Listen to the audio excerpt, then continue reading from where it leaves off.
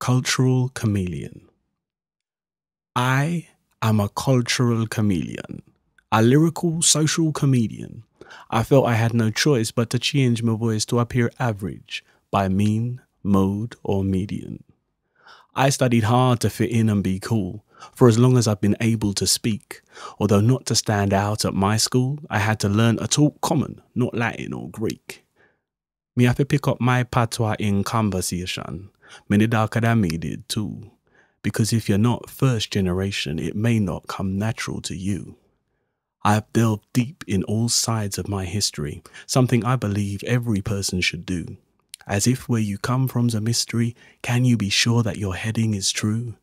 So to stories of Romans and Boudica, I add Maroons, Garvey and Shaka Zulu, and ensure the light of the Lady of the Lamp never obscures Mary Seacole from view. My biological heritage is both black and British, and yet some really do seem to feel that my need to pay subs to both these cultural clubs is somehow less than real. Like some BNP or National Front, jumped up runt, son of an Enoch Powell influenced ignorant grunt who wants us all to go back to our historically correct geographical homes. Well, hold on. Mine split across more than five hours of time, which are a little harder to straddle than a couple of travel card zones.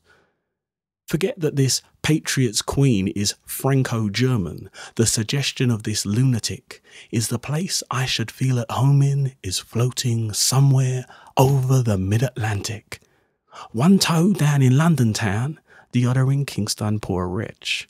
Better put me on the rack right now, cause my legs them just won't stretch. My left foot is waiting for my breakfast scene, when my right side's just had me lunch.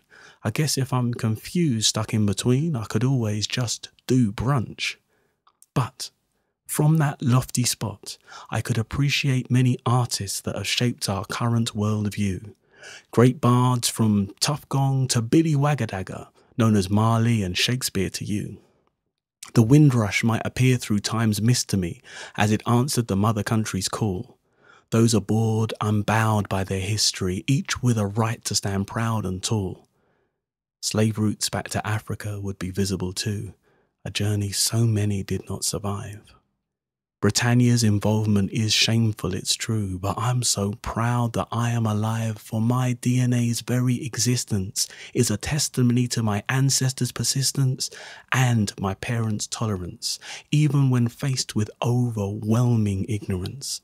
It is a unique blend of Aboriginal British bloodlines and those of the invited immigrants.